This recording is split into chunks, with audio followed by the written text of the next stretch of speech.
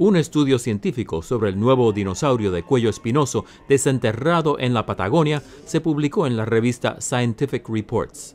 El fósil del Bajadasaurus pronuspinax se descubrió en 2013 y muestra puntas largas y delgadas que salen del cuello. Tiene una edad de 140 millones de años atrás y es muy interesante porque nos muestra parte de la historia de la evolución de los dinosaurios que es muy poco conocida.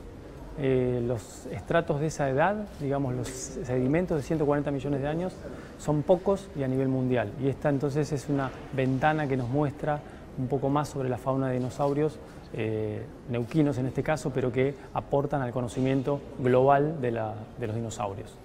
Los investigadores afirman que las espinas se habrían cubierto con queratina, muy similar a la que se encuentra en los animales con cuernos modernos. Y que muestran a un dinosaurio nuevo, con características únicas, en donde eh, encontramos gran parte del cráneo de este dinosaurio y unas vértebras del cuello que eh, muestran unas espinas muy alargadas que apuntan hacia adelante, lo que le da un aspecto bastante, bastante interesante.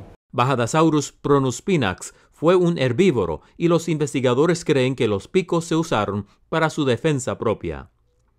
Miguel Ángel Rivera, Voz de América.